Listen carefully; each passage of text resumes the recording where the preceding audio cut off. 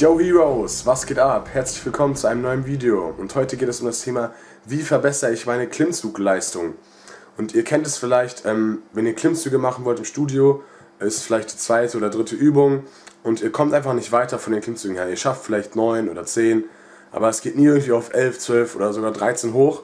Und dafür habe ich heute einen extra Tipp für dich. Und zwar ist es immer so, wenn du in einer Übung viel besser werden willst, dann musst du sie einfach jeden Tag machen. Ja? Und das heißt, das erste, was wir machen, ist, dass du jeden Tag, wenn du im Gym bist, also wenn du im Fitnessstudio trainierst, dass du immer nach dem Training einen Satz Klimmzug machst. Nur einen Satz, aber immer nach jedem Training, auch nach dem Rückentraining, immer noch extra einen Satz Klimmzüge. Und dann, wenn, wenn du dich jetzt fragst, ja, jeden Tag bin ich ja nicht im Studio, dann habe ich hier die perfekte Lösung für dich. Äh, vielleicht hast du es schon mal gesehen hier oben. Eine Klimmzugstange, genau.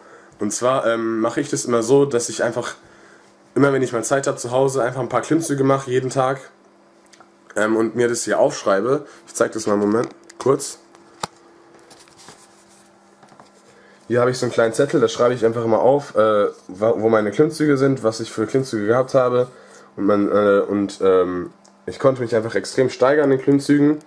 Dadurch, dass ich dann ähm, im Gym immer das gemacht habe, immer nach dem Training. Und hier oben auch an dieser Klimmzugstange. Ja, das ist, das ist so eine hier, die, die ist richtig reingeschraubt hier. Ähm, die hat, glaube ich, nur 30 Euro gekostet, verlinke ich euch mal. Und äh, die hält bis 300 Kilo aus, also da müsst ihr keine Angst haben, dass sie runterknallt. Es gibt auch noch welche für einen Türrahmen, die kann man dann, ähm, kann dann hier so einhängen. Aber äh, die sind nur für so dünne Türrahmen und die sind auch nur bis 100 Kilo. Also ja, ich wiege zwar keine 100 Kilo, ähm, aber äh, ich fühle mich dann bei der doch ein bisschen sicherer. Und ich mache jetzt einfach mal einen Satz Klimmzüge vor. Ihr könnt immer mal ein bisschen wechseln zwischen breiten und engen Griff. Und ja.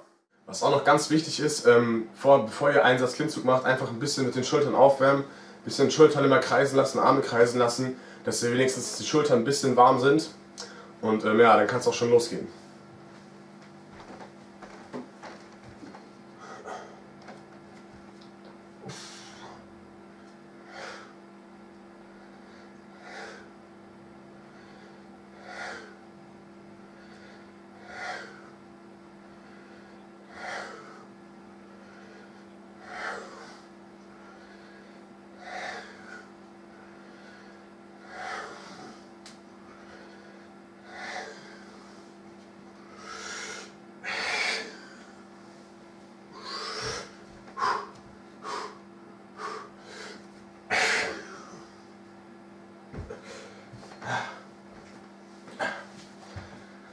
Also ihr habt gesehen, äh, ihr könnt ruhig auch, wenn ihr zum Beispiel den letzten nicht mehr ganz schafft, mal kurz absetzen und dann einfach noch einen hinterherknallen oder kurz den engen Griff nehmen und dann noch ein paar machen.